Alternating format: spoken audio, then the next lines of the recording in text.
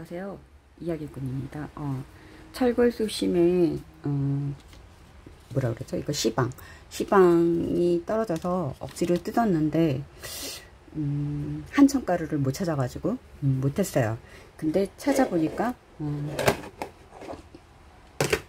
여기에 한천 묵을 써놓은 게 있었는데요. 아무것도 넣지 않았는데 곰팡이 들어서 걔는 버렸어요. 근데 이게 먼저 했던 것도 사실은 어 이게 호접난 씨앗들인데 좀 곰팡이가 좀 슬었어요. 근데 뭐 이거는 씨앗도 같이 있으니까 할 수 없고요. 음, 얘도 곰팡이가 좀 슬어 있는 것 같아요. 그래도 뭐 얘는 한천 그걸로 한 거고요. 네. 얘는 그냥 상토, 원예 상토로 한 건데요. 사실은 약간 공기가 통하고 애들이 들어가서 그런지 뿌리파리의 에벌렌지 벌레들이 기어다녀요.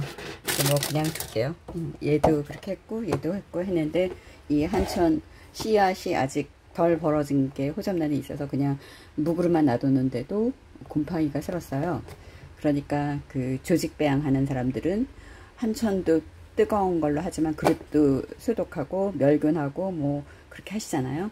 근데 저는 그대로 그냥 하겠습니다. 그러니까는 어, 이 제가 어, 첫 번째 실험에서 어, 약간의 실패는 했었지만 그래서 이렇게 한천 무기 좀 모자라요. 첫 번째 건. 근데 이, 이 알아낸 건 이 물 한 컵에 어, 요거요. 요 페트병 뚜껑. 예.